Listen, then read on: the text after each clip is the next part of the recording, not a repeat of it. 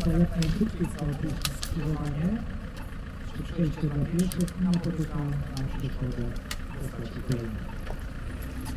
Przeszkodę szybką,